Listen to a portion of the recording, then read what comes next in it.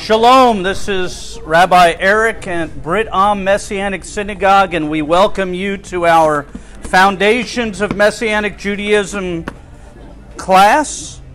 This class is an open form discussion class where you can ask questions about Messianic Judaism, about Judaism, about Christianity, about the connection between the two or the disconnection between the two. We found that we had quite a few people that were part of our congregation. They were attending regularly. They had been here for a while, and uh, they had lots of questions, but we didn't have a mechanism to answer those questions. And sometimes they'd be here for two months, three months, four months, or more while they were trying to get these questions answered. And for some reason, uh, they wouldn't just make an appointment or call me or email me. So we. Uh, we started this class to accomplish the goal of answering those questions.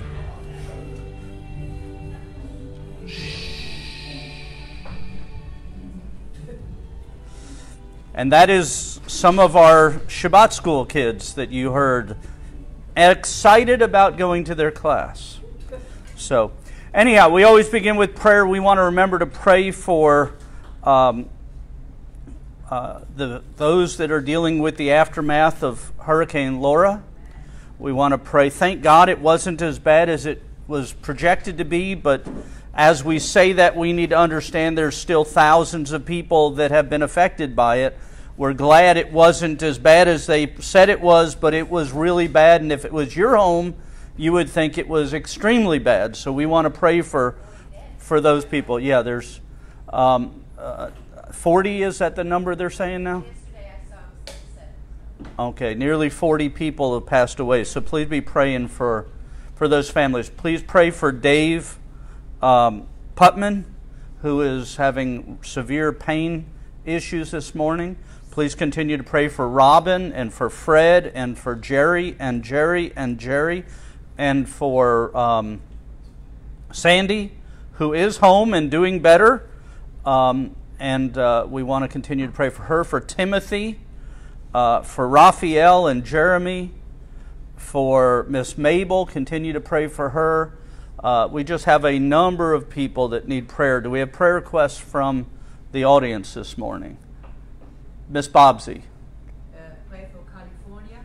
Pray for California with the fires. Yes. And, uh, persecuted believers. And the believers in California, you know, it's strange now that we're actually praying for persecuted believers in the United States. Isn't that a like something that we would have thought, you know, we, we would not be doing? But please pray for those that are being persecuted uh, in California and other uh, states that are not being allowed to meet even in homes and, and so on. So, uh, just important to pray. Other requests? Jonathan. Pray for the Geigers. Uh, pray for all those that are being affected by COVID or COVID testing. You know, it's it's interesting if you have if I went and got tested for COVID today and I was found positive for COVID according to the CDC, I only have to stay away from people for 10 days. But if I come in contact with somebody with COVID, I have to stay away from people for at least 14 to 21 days. So we need to be praying for these people that are, you know, having to not be able to work and other things because of just being in contact with somebody who's uh, who's sick or might have. Because this isn't even having contact with someone who has COVID. This is having contact with somebody who might have had contact with or might have. So we just need to be aware of that and be praying for uh, for our friends. Uh, along the lines of persecution, I saw Rabbi Mendel from the local Chabad reported that the Chabad house in Delaware, Was burned. University of Delaware, was burned. It was like the second one in two weeks. burned. Right. Uh, We, there was one in California, one in Delaware. These are Chabad houses that are um, uh, are being uh, burned down by the uh, protesters, these Antifa people, and we need to be praying for them.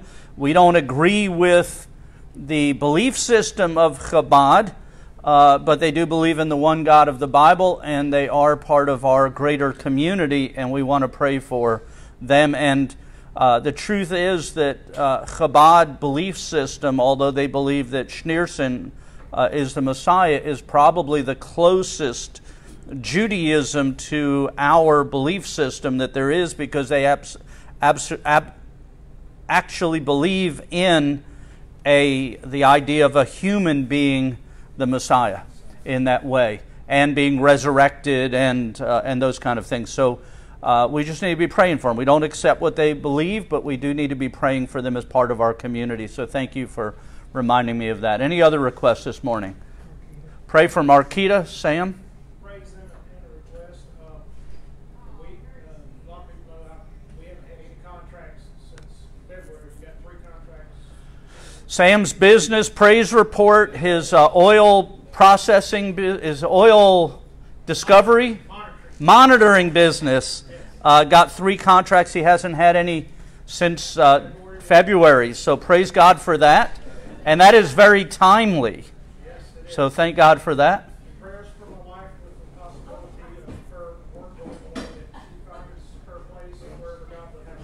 Amen. And pray for Joanne as her job that she's had appears to be ending.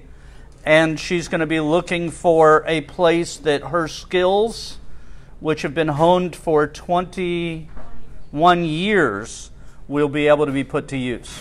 So, yes.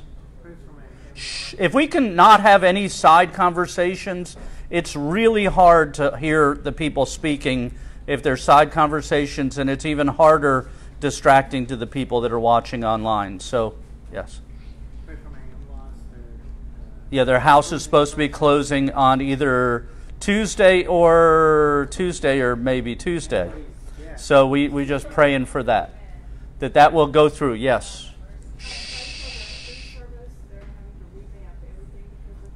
Yeah, pray for those that are working in food service, whether it's in restaurants or schools, but your particular prayer request is connected to the school system that you work in where they're having to do everything completely different in how they do lunches for children. Not only that, but everything is different because each school has a different percentage of students that are actually back in the classroom, so they have to adjust all of the recipes and all of the things that they're doing to be able to provide.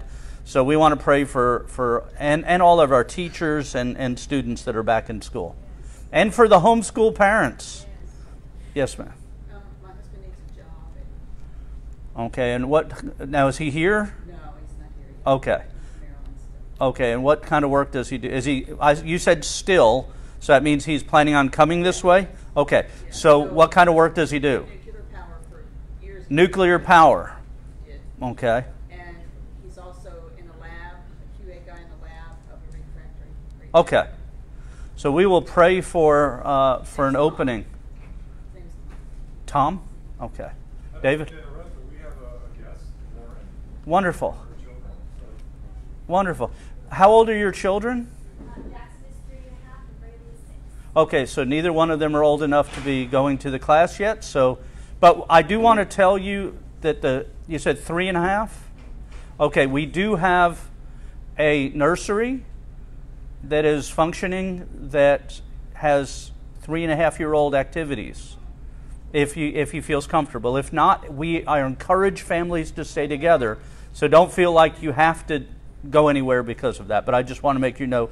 And the restrooms through that door, down the hall, to the right. So. Oh, good. So they already know. So I wasted all that time. Okay. So, any other prayer requests? Yes, sir. Uh, for the young man involved with the shooting in Kenosha, Wisconsin, justice will be served, Yes. Yes. We need to, th- this is important, and I'm going to talk a little more about that after, but we need to pray for this young man in Kenosha that righteous justice will prevail. Uh, none of us were there, none of us know what happened.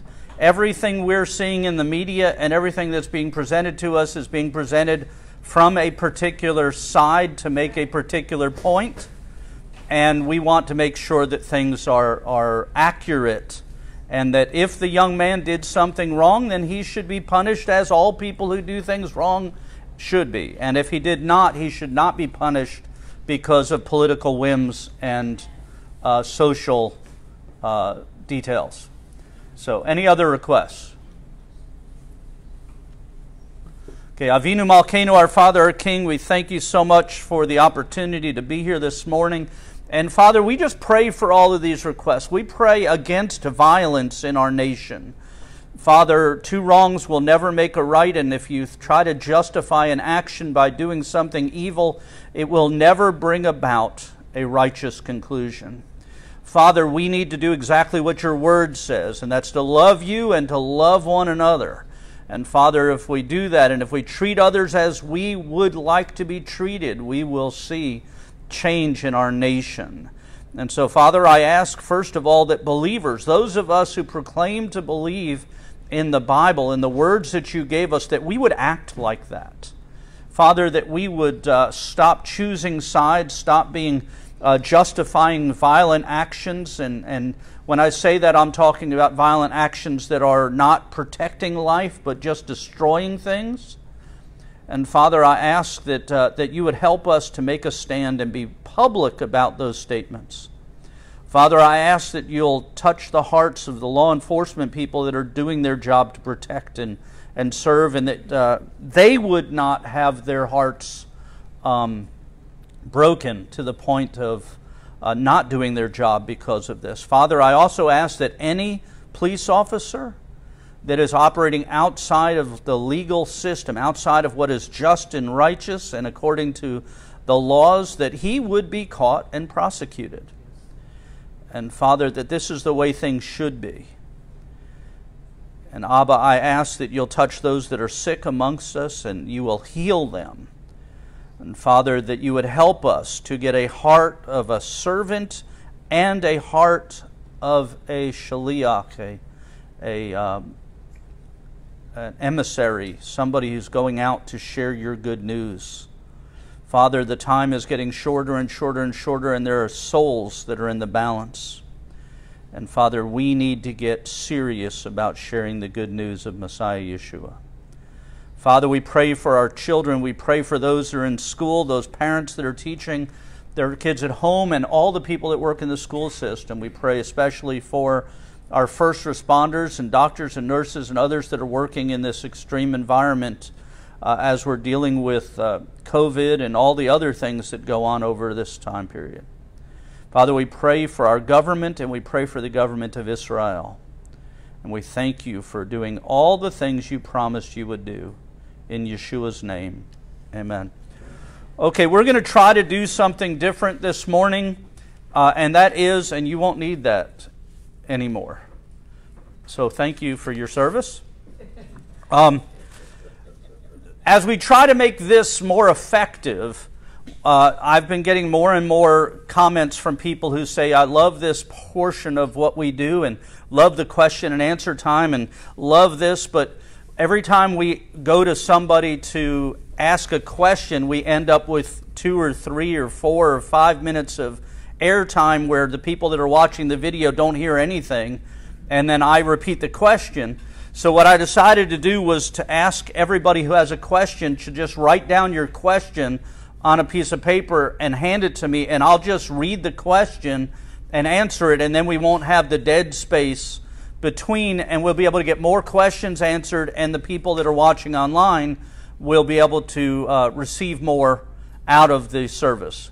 So I have a couple of questions that have already been written. We have papers on the table there, so if you have a question, uh, please just write it down, and I will do what I can to answer those questions. Um, I, again, for those that are uh, new and watching online, first of all, we thank you for tuning in. And also, we ask you to hit that watch party button so that other people can participate also. And uh, if you have questions and you're watching online, there's an email address on the, the comment thing or on the, uh, the description that you can just email and I'll answer your questions next week. So, uh, why is the ban of children to the 10th generation? Why so harsh? And what about Ruth Lincoln. I'm sorry, I couldn't read Ruth. Uh, um, okay, Uh, the ban of this, you have to remember that we're dealing with uh, two groups of people the Moabites and the Ammonites. Uh, Moab were the ones that uh, hired Bilam to uh, deceive Israel and try to curse Israel.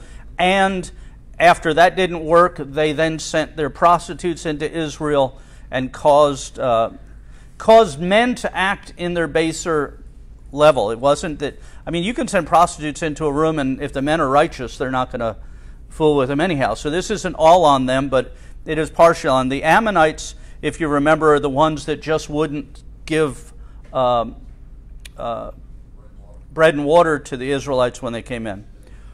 And they ended up attacking them later, and there's all kinds of things. Ammon, by the way, are the um, the children of Lot and his daughters. Uh, so this is a problem that comes up from, from that. So why the 10th generation? Um, it's because their actions, whenever you see, and I love the word you use, this is so harsh.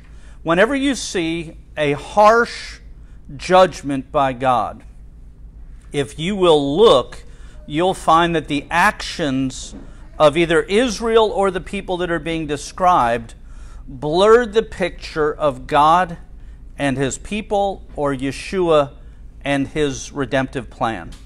In other words, the picture, everything in God's Word was written so that we would see God. This is a beautiful mural from Genesis through Revelation that tells the story of God's love for His people and His redemptive plan. And so every time you see someone, for instance, Moses, he was told to beat the rock the first time and then he was told to speak to the rock the second time. He beats the rock the second time instead of speaking to it. It blurred the picture of the two comings of Messiah. One coming he would suffer, the other coming he would be received and worshiped and praised. It blurred that picture. It's like if you had a beautiful mural and somebody just blotted out a portion of it so that people seeing it would no longer clearly see that. That's what happened. It's the same thing with Uzzah and the Ark of the Covenant. We look at the story of Uzzah and the ark is being caught up, brought on the cart, and uh, and then the oxen stumble, the cart starts full. Uzzah sticks his hand up to protect the ark, and we think, ah, oh, that guy did a great thing. Lift up, reach the ark, but he touched the ark he wasn't supposed to. Uh, and it blurred the picture of Messiah Yeshua ultimately carrying the cross on his shoulders, which is the way the priests were supposed to carry the ark, all the things that went on in there, and it blurred the established picture that God had. So these events of Moab and Ammon and Israel blurred the picture of what God was trying to do and show in His Word. So anytime you see something, you know, wow, that seemed really harsh. You know, Moses, he led Israel for 40 years and all he did was beat a rock. I'd have beat the rock too if I were him. You know, all those things. If you look beyond that, you'll see that. Now, as far as Ruth, this is an interesting thing because you have to remember that these prohibitions are against Moabites and Ammonites. Ruth, although she was always a Moabitess or called a Moabitess, she laid aside her paganism and joined herself to Israel. So, this is talking about Moabites and Ammonites who do not do that, who do not lay aside their paganism and, and they remain Moabites serving the gods of Moab or Ammonites serving the gods of Ammon. That's not the case in Ruth. And that's why, when we see, for instance, in Solomon's day, the Queen of Sheba comes to Israel to see the glory of the temple and all that's there, she's a, a pagan who is allowed into the temple area, not into the holy places, but to the places that those that didn't serve God could go to. Ammonites and Moabites couldn't even go there uh, unless they became grafted into the people of Israel. And this is actually really relevant to us today. Because if you are a non Jewish believer in Yeshua, you have been grafted into the olive tree, and you're no longer uh, a pagan or a heathen. You are now part of the olive tree of Israel. And as the scripture says, we can boldly enter into the holy place through the veil of Yeshua when he became that veil. So this is really relevant and needs to be understood. Ruth was allowed to be where she was because she had laid aside her paganism and accepted the God of Israel, and she was no longer viewed as an Ammonite or a Moabite. She was now looked at as an Israelite, though not a Jewess.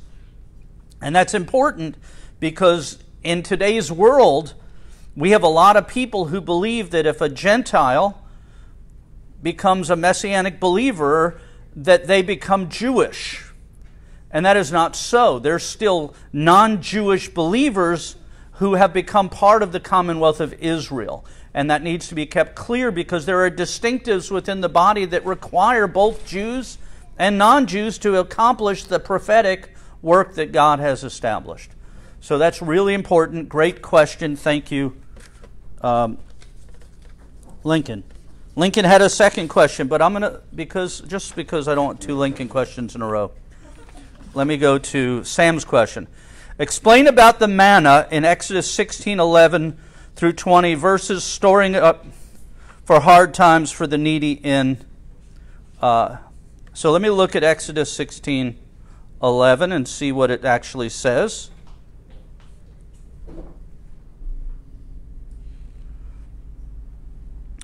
Okay, manna from heaven, they journeyed in Elim. Uh, people were supposed to gather the day, but on the sixth day they weren't supposed to gather, and if it didn't last, I mean, if they didn't gather enough, they wouldn't have any. If they gathered too much, they wouldn't. It would turn putrid.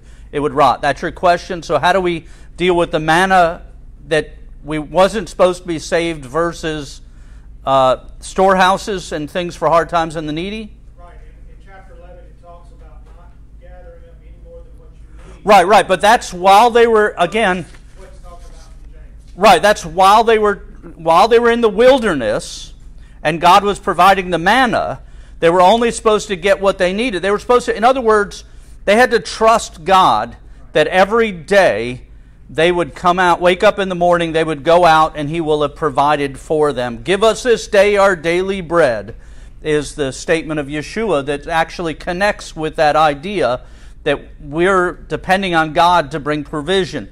The difference in the wilderness was they didn't have an ability to plant. They didn't have an ability to harvest. They didn't have so God was providing all that for them supernaturally. But they were supposed to trust and only get enough for one day, and they weren't and then on the the sixth day they were supposed to collect enough for 2 days and trust so they had to it was a double trust issue. One was they had to trust that on the if the, every other day of the week that they could they'd have enough for that day.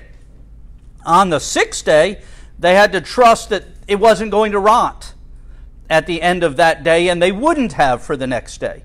So it's learning to trust that God will provide when we don't see it, and also that His provision will last if we need it to supernaturally because of His promises. Now, that's different from storing up things today. First of all, we're not in the wilderness, we're not being supernaturally fed by God, although some of our children believe we are. You know, that you know, the, you know, it's kind of like the man who said, "I have a miraculous table at my house."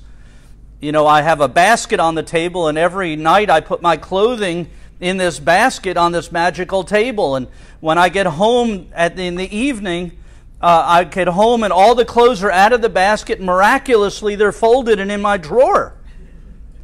It's, it's just, I don't know how this works. It's miraculous. I put them in the basket, come home, they're all done. Now, that is unfortunately how many people believe things happen today. It's not. And uh, we actually now have the ability to work and so on. And part of that is we work according to Ephesians so that we can give. Um, it's interesting, and, and, a side note, because we're talking in Exodus here, but uh, when we go to Leviticus and we read about Passover, God connects Passover with gleaning. You will observe the Passover in, in uh, Leviticus 23, and then connected to Passover is leaving the corners of your field available for people to go to. God connects His supernatural redemption of us with our provision to others and that our giving is an evidence of His provision. So, all of that is, is part of that. I hope that answered your question. Um, people are adding questions to my pile here.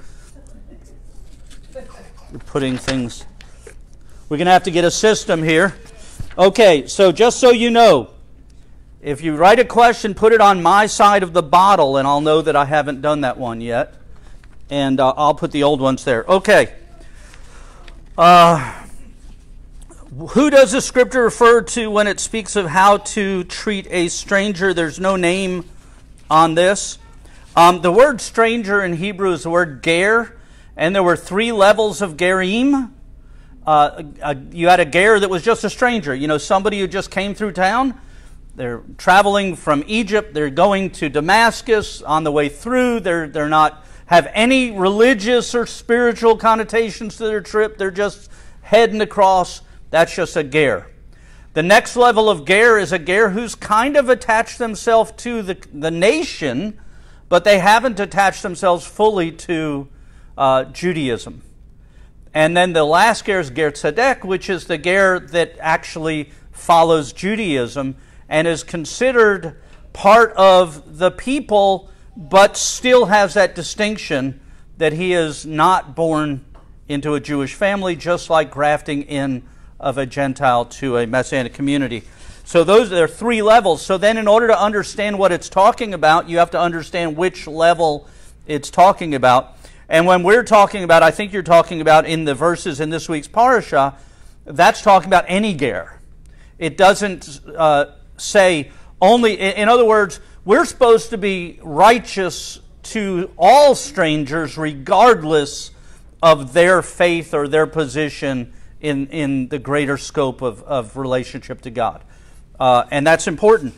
Um, and this brings us to a, a thing that's, that's relevant to us today, is uh, because this comes up quite a bit. People will quote these verses when they're talking about illegal immigration and how we deal with that as a, how we as a community of faith deal with issues of illegal immigration. And uh, you have to remember that when we read these, like chapter 24, chapter 23, and so on, we're reading laws.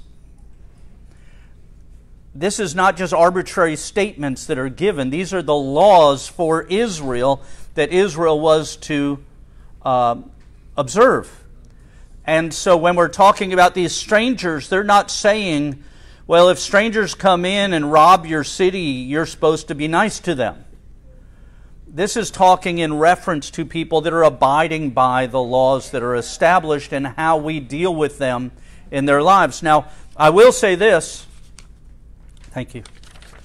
Um, I think we can do a better job of how we treat those that come over illegally, especially the children.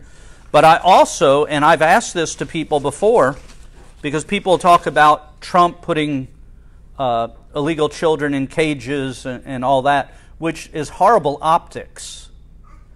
Uh, and but he wasn't the one that started that, nor as the president can he stop that, because the laws are made by Congress, not by the president.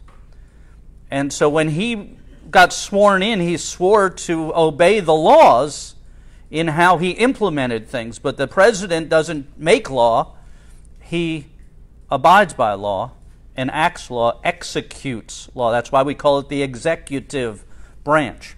So laws have to be changed by Congress, but even at that, if, if and I've asked this to people who kind of attacked me because of my position, if you were the president and 100,000 unaccompanied minors all showed up on your border in less than 30 days. And by law, you couldn't turn them around and send them home. You also couldn't legally just let them free in the country. That according to laws, you have to be responsible and accountable for every one of those children, which means you have to watch them you have to make sure they're safe. You have to make sure who they are and if they have parents and if the people they're traveling with are related to them and make sure they have medical care and make sure they have food and they have clothing and they have all those things. That's what the law says you have to do. You can't just put them in hotels because you can't supervise them in hotel rooms. You can't just put them into foster homes because we have a legal process for establishing foster care that takes time. You don't just say, I want to have a kid, and they bring you a kid that day. You have to go through a legal process to do this. The only reasoned way to do what they did was to put them in a holding facility that they would actually have visible observation of each of those children to make sure they were safe during that time. Now, that's horrible. None of us would say that's our first choice in how to help children, but it's also necessary to accomplish what the law provides that we have to do. So, while it's a horrible picture, and none of us want to see children in, in cells or in chains or in cages or any way you want to describe that, the, the alternative to that is turning these kids over to the streets with no job, no food, no home, no clothing, no medical care, no education, no protection, no nothing. And so we have to be rational about these things. Can we speed the process up? Yes. There are ways to speed the process up, but the laws have to be changed to accomplish that. And so, anyhow, I don't want to go too side far on that, but it's just important that we understand we need to blame the right people for things. And uh, that doesn't mean that I don't think that President Trump hasn't made lots of mistakes, because I do. Uh, but that's not one. You know, you need to blame the right people for the right thing, and that's that's not something. Okay, I'm going to go to Amanda's question. During the Second Temple, when Yeshua read from the Haftorah, did he participate in the Orthodox version of the Amidah standing prayer during the service? Yes and no. Who's Amanda?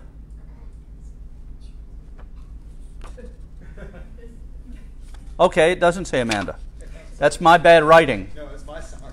Okay, so anyhow, did he observe? The answer to that is yes and no. The reason I say that is portions of the Amida weren't written until after his death. So he would not have done, for instance, the, the added additional verse of the Minim or the heretics wasn't there.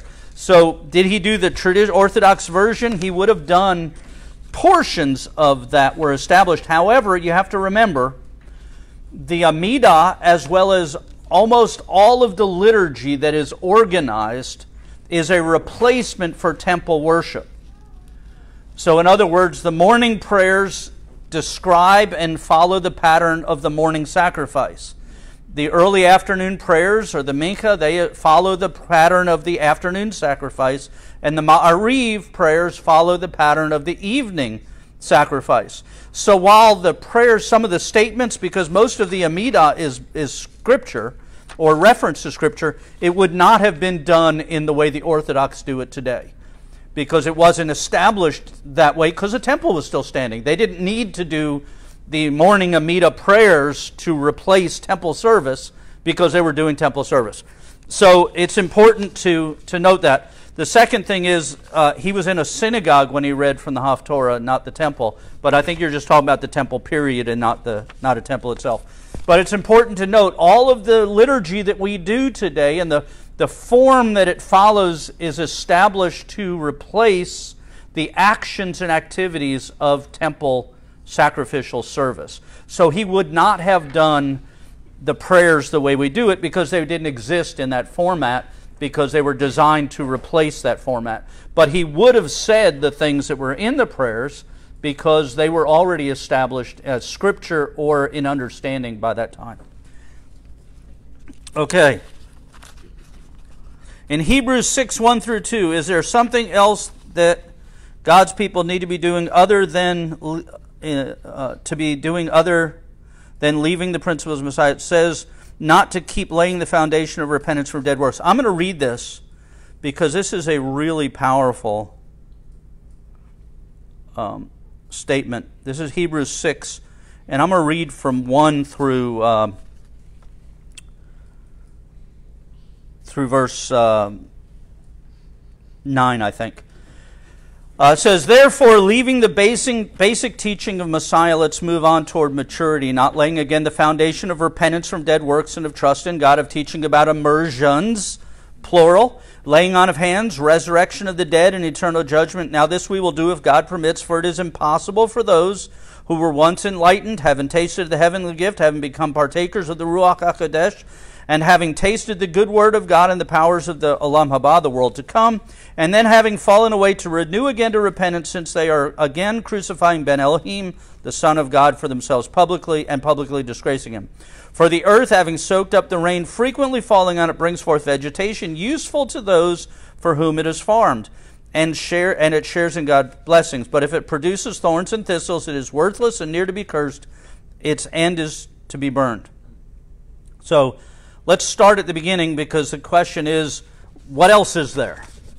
Um, okay, so what he's talking to, he's talking to a, a group of people that are spiritually immature. And uh, to get, let me give you an example, and listen, especially those that, that have a Brownsville background. Listen to everything that I'm going to say because I'm not downcasting Brownsville, I'm giving an example. Brownsville was a revival that took place in Pensacola, um, I don't know how many years ago now, 15, 20 years ago now, something like that. It's been a long time. And millions of people came through and they heard a message of repentance from sin and redemption through Messiah. What Brownsville didn't provide was a mechanism to mentor and disciple those people after that. They had the Brownsville School of Ministry, which took people and got them into ministry, but they didn't have a place for a million people to go and be attached to uh, mentors and be discipled after that. Their message was consistent. The whole time it was there, they preached repentance from sin and regeneration through the Ruach, the power of God's Spirit, redemption through Messiah. Their message of repentance was sound, it was positive, it was impactful, it changed lots of lives. But they didn't have a mechanism to then take those people and teach them. Now they did for local, but they had a small. I mean, they their building at the time when it started it was like 700 people. They couldn't possibly do it. It's not that I'm knocking them. It's kind of like what happens when a thousand children show up at your border. What happens when a hundred thousand people show up at your congregation? There are, though, mechanisms that they could have used. For instance, Brownsville was part of the Assembly of God. They could have told each of those people, there are a hundred Assembly of Gods in the area. Come here for the revival at night, but go there on Sunday and be part of that and join an outreach group or a, a, a, a home group or a discipleship club. Use the mechanism beyond our walls to mentor and disciple people. That didn't happen, or if it did, it didn't happen to a great extent. Again, not knocking the message or the effectiveness or what happened with those people. I believe people absolutely had their lives affected by the power and redemptive work of God. But there wasn't a mechanism for individual discipleship for that. Um, that's kind of what we're talking about here. You have lots of Jewish people, because the book of Hebrews is written to Jewish people, uh, and it's written to them, and he's saying, okay, you guys have repentance, teachings about immersion, trusting God, laying on of hands, resurrection of the dead, eternal judgment. They have the Brownsville message. But that's not the end. There's an entire lifestyle of how you're supposed to live and act and do, and you need to be discipled. You need to go on. And he says, and we're going to do this if, it, if time permits. If God permits, we're going to get this right. And then it goes on and says, because if we don't disciple these people, if we don't raise them up, they're going to fall away and go back to the world. And unfortunately, lots of the people that came through the Brownsville, and, and again, listen, Brownsville is just one of probably a hundred documented revivals that have taken place worldwide in the last hundred years or so. So it's not the only one. And I'm not knocking Brownsville because I respect their message and what they did and I'm not denying the power that took place there nor what went on. But there are a lot of people that walked away because there wasn't something that they could go to and wasn't somebody that could bring them aside and mentor them and teach them. And that's why this goes on. It says, and having fallen away, to return them to repentance, since they are crucifying Ben Elohim for themselves publicly. Now, those that say, well, those people really weren't saved, because that's usually the uh, the message that we get from this. When somebody falls away in, in the once saved, always saved type camp, uh, they say, well, they just really weren't saved. Let me read what it actually says. For it is impossible for those who once were enlightened, okay, so they've been enlightened. They've God's light shined on them. You know, you could say if somebody came to a service and God's light shined on them and they felt the presence of God and got the little goosebumps and all that, but they never did, you know, they didn't really accept the Lord. You could, if it stopped there, you could almost validate that position. But it goes on to say, having tasted the heavenly gift and become partakers of the Ruach HaKodesh. These are people that are spirit filled, people that had been enlightened by God. And then it goes on to say, and having tasted the good word of God and the powers of the Olam Haba, the world to come. There is no question that Paul is describing born again believers in this passage that just never matured past when the seed was planted and the plant sprouted. And the you know, Yeshua taught, he said that some get taken away, some get destroyed, some get stomped on, some get, and that's what happens to believers if they're not discipled. So, discipleship is the next thing. It's not just saying, I love you, Lord, and fill me with your spirit. I'm going to go get immersed in water, have my sins washed away, and that's the end. I'm done. Uh, I've signed up, I've got my card, and I'm finished. There is a discipleship, there is a walking with God that is required, there's a faith path Paul said, I've run the course. It's the course. I've finished my race. It's the race. It's what we're supposed to do in the Lord after that happens. That's walking into the door. After you get in the kingdom, you have to live kingdom. So, anyhow.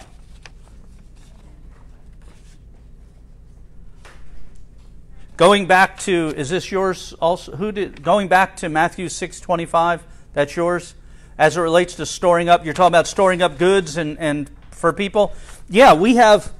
Uh, I, I am a firm believer in the idea of benevolence and being prepared not only for ourselves but also for others, and that that should start out at the household of God.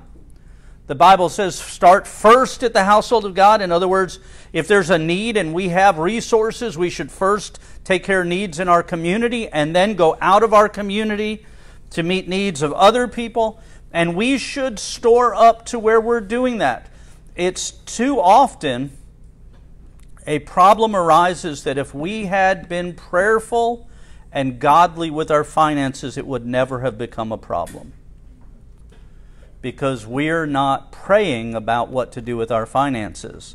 We habitually do it. When I evangelized, and I got just a couple minutes, but when I was evangelizing, uh, there were lots of times I would they'd call me up. I'd sit on the bima, or they didn't call it a bima. I'd sit on the platform, and the pastor would take up the offering and all, and then I'd get up to speak, and I'd say, "Look, some of you gave money in the offering tonight. God didn't want." And you could hear the pastors sucking the air out of the, the room because they don't, you know, most pastors don't want to hear the words, you gave what God didn't want. They want people to give as much as they can, and, and I understand that, and I want people to give as much as they can too, but I want them to listen to God in doing so. And I said, there's times where a missionary or a special speaker comes and you get excited about their message and you get emotional about their message, and somebody from Africa or India or Israel or somebody working with Holocaust survivors or somebody, and you're, you are emotionally charged, and you get your wallet out and you just empty your wallet and throw it in the basket, and you're like, I did what God wanted me to do. And then you leave the synagogue and you get a flat tire. Or, you know, Sunday morning you wake up and you're just feeling really good. You were at service, you worshiped, you gave, you were a part of something bigger than yourself. You're just so excited. You walk out your house and your car's flat. And then you go, Oh, and I don't have any money to fix that. And then you go, Lord, I can't believe you did this to me. Didn't you see what I did yesterday? I took every penny in my wallet and I gave it to you to be used for your kingdom. And God says, You didn't ask me. I had provided the money for this tire to be replaced, but you gave it to that missionary because you went on emotion instead of on obedience. And there's a huge difference between emotion and obedience. And we need to be aware of that. There are inversely, inversely opposite. Yeah, the inverse. There are people that don't give that God is pleading with them to give. Because He wants to bless and He wants to pour out into your life and He wants to do, and, and, and your emotions well, I can't do this because of this or because of that or because of this or I'm angry or I'm upset or I'm disappointed or whatever.